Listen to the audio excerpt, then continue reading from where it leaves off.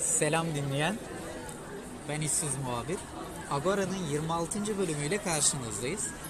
Bugün yönetimi yine Douglas'tan ele aldım ve darbe yalnız geldi. kovboyun yokluğundan Yapma. istifade ederek 8 Temmuz'dayız yani.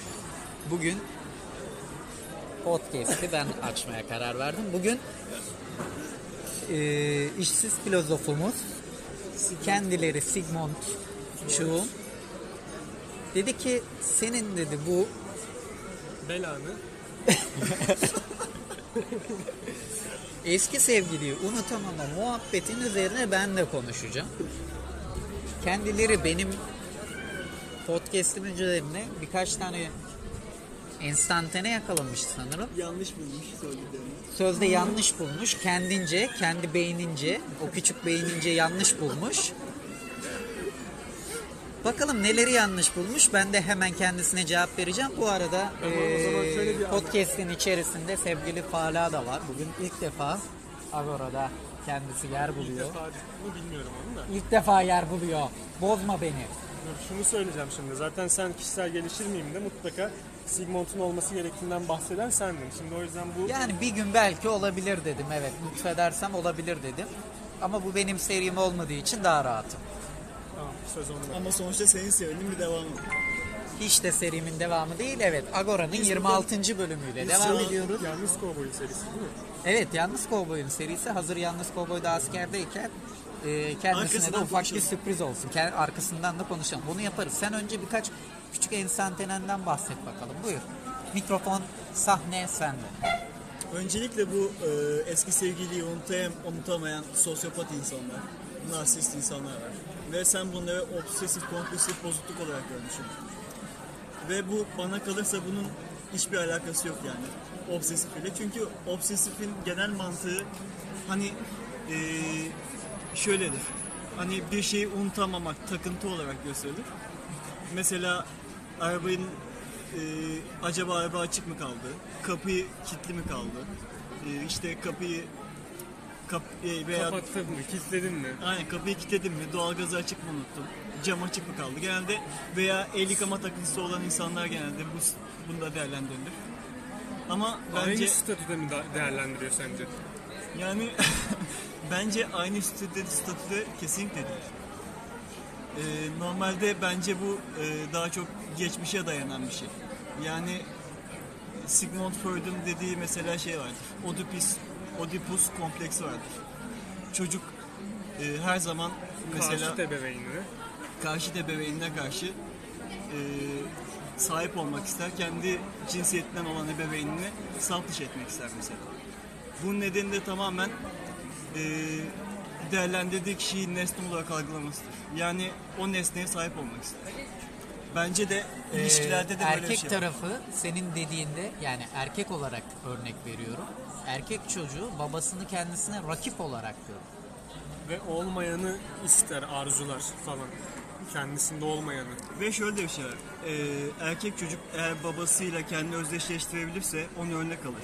Ama onu nesne olarak görürse sahip olmak ister. Senin dediğine Ve- geldiğimizde Tamam. işte kendisine rakip olarak görüyor. Tamam ama e, benim burada demek istediğim bu ilişkilerde erkek kısmının kadınları tamamen kendisini özdeş- özdeşleştirmek yerine nesne olarak algıladığı için hani sahip olmak ister ve hani tamamen kendisine ait ister. Bu tamamen bununla alakalı olarak görüyorum ben bunu. Çünkü bununla daha çok özdeşleştiğini düşünüyorum yani. Çok saçma. Şöyle düşün. Demin kendin de çok güzel ifade ettin sevgili Sigmund Freud. Ne dedin? Obsesif kompulsif bozukluğun dilim dönmeyebiliyor bazen. Temel sebebi takıntıdır dedin değil mi? Evet de Bir dakika. Önce Takıntı sorduğum çeşitleri soruya diyeceksin. Bir Evet mi dakika dur. hayır. Bir dakika dur diyor sana şimdi. Evet mi hayır mı? takıntıyla alakası var evet. Yani. Takıntı. Temel sebebi takıntı. Buna da örnek olarak ne verdin? El yıkama dedin. Ama burada bir vicdanen de bir şey var. O zaman şöyle bir şey soracağım ben Sigmund'a. Eski sevgiliyi unutamamak neyin alt başlığı o zaman? Ee, bu tamamen sosyopat narsistlikle alakalı yani. Ya onun etkisi zaten var. Onların etkisi yatsınamaz. Ama şöyle. Sen dedin ya. Arabayı açık mı bıraktın? Vicdan Doğal- muhakemesiyle de alakalı. şey. Doğal gazı doğal doğal gazımı kapatmadım. İşte e, ellerimi yıkayayım sürekli gibi takıntılar olduğunu söyledin ya. İşte buradaki e, şahsın takıntısı da eski sevgilisi. Anlatabildim mi? Acaba şu anda ne yapıyor? Acaba şu anda kiminle birlikte? Acaba benden neden ayrıldı? Bu kıskançlıkla alakalı bence daha çok. Ama demek Sen ki şu anda hiç bilimsel konuşmuyorsun. demek ki sahip bile Kıskançlık olamamış. bilimsel bir şeydir yani. Evet. Hayvanlarda bile kıskançlık vardır. Ee, E, demek ki insanda da olması doğal, doğal ama bunun aşırıya kaçması doğal değil. kıskançlığın temel sebebi ne? E, bu Güvensizlik. hayır, bu Psikolojik açıdan soruyorum. bu tamamen herkeste olması gereken bir şey aslında. Yani mesela bir kedi bile sahibini kıskanıp ilk karşıdaki kişiye saldırabilir yani. Sahip olma isteği mi? Tamamen kendisine ait görme. Ama bu tamamen vicdan dışına çıkıp öldürme noktasına geliyorsa o zaman bunun sorgulanması lazım. Bu insanın neden vicdanen bu şekilde diye anladın mı? Ya biz burada zaten aman öldürsün Mesela biz sen sorgulamayalım bir demiyoruz ki sen buradan nereye getirdin lafı ben bunu Çünkü ben anlayamadım. şeye getireceğim. Pompalıyla işte basmalar falan oluyordu. Okulda Evet. falan. İşte buna getireceğim olayı çünkü hani e, o kişinin oraya pompalıyla gelip ilk önce seni sonra kendimi öldüreceğim muhakemesi yapması bu tamamen şey yani hani e, obsesifle bir alakası yok bunun. Çünkü açık takıntı, ara açık ara alakası var. takıntı ve vicdan muhakemesi ikisi farklı Evet, şeyler. şimdi takıntı haline getirmiş olabilir sevgilisini ama şimdi her obsesif de gidip de öldürmeyi, zarar vermeyi düşünmüyor. Peki ben e, podcast'imi dinledin mi sevgili Sigmund? E, o ilişki muhabbetini. Evet. Onu dinledim tamam. Sen zaten podcast'in içindeydin sevgili Douglas. Bir açıklama yapıyorum. Diyorum ki bu takıntı rahatsızlığının belli boyutları vardır diyorum. Örneğin diyorum işte yüzde on beş. Yüzde on beşten sonra işte yüzde yirmi beş, otuz beş her neyse. Bunların boyutları önemli olandır diyorum. Yani pompalıya gelecek kadar çıktığı zaman en tehlikeli seviyeye geliyordur diyorum zaten. Bu benim kendi içimde gruplandırdığım bir olaydır diyorum ve gruplamasının derecelerini de size aktarıyorum. Burada bir derecelendirme varken sen nasıl bununla alakası yok diyorsun? Ben bunu anlayamıyorum. Ama sen şimdi obsesifin derecesini söylüyorsun. Evet. Değil mi? Yani e, orada bir hani pompalıyla gitme durumunda e, vicdan söz konusudur. Alakası yok. Öl, öldürme hissi vardır orada. Alakası yok. Vicdanla alakası yok. Şimdi obsesifte nesneye sahip olmak söz konusu olamaz. Neden olmasın? Çünkü e, bir nesneye sahip olmakla takıntı durumu farklıdır. Tamam şöyle düşün. Nesneye sahip olamayacağını biliyor. Ama bu adam o nesnenin eee, ne yaptığını merak ediyor. Neler yaptığını ona yakın olmak istiyor. Ya ben bu konuyu e, farklı değerlendiriyorum senden. Yani burada bir hani fikir ayrılığı olabilir bence. Çatışma da normal. Yani Şimdi- sen farklı değerlendirsin, ben farklı. Mesela çizgilere... Ben çünkü burada ben vicdanı da giriyorum. Hani aynı zamanda bu takıntı dışında bu insanın vicdanı da sorgulanmalı. Sen Ben psikolojik açıdan bir vicdanın varlığını kabul etmiyorum.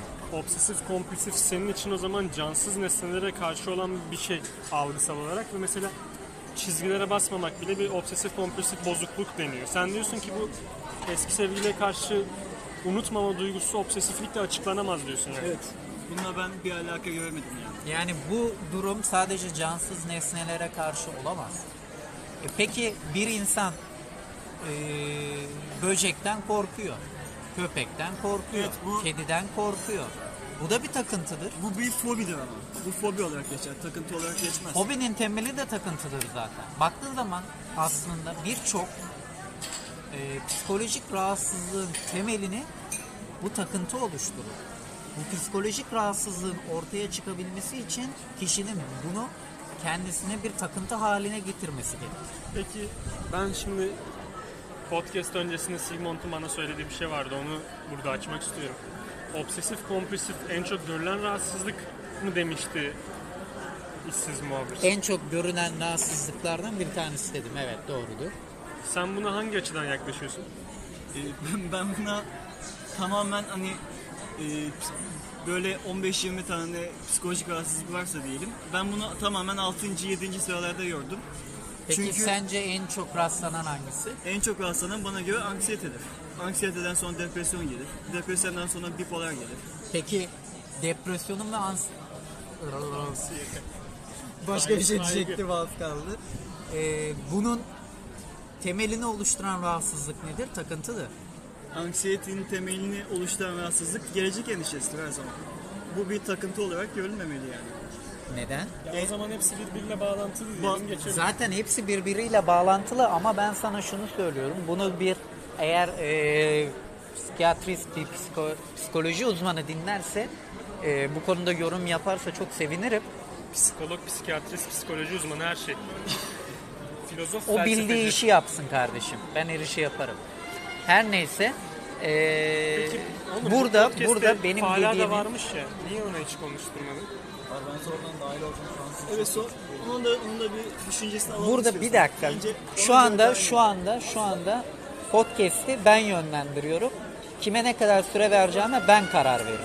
Ya onu 25 dakika konuşturdun o bir dakika konuşmadı. One minute olmaz. Olmaz.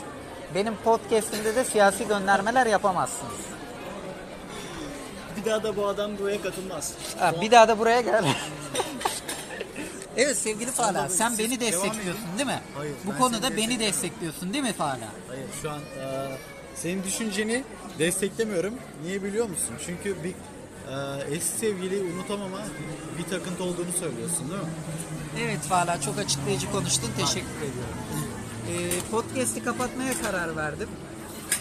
Çünkü Da- Şu muhalifler çoğalmaya başladı. muhalif beyler çoğalmaya başladı. Çok demokratik bir yönetim. Ya seni ne alakadar eder? Mühür kimdeyse Süleyman odur kardeşim. Mühür bende Süleyman benim. Demirel mi? Evet, e, Agora'nın 26. bölümünü dinlediniz sevgili dinleyen ve bu bölümde benim haklı olduğuma karar verdik. Son sözleri de ben söyleyeceğim. Big Brother is watching you.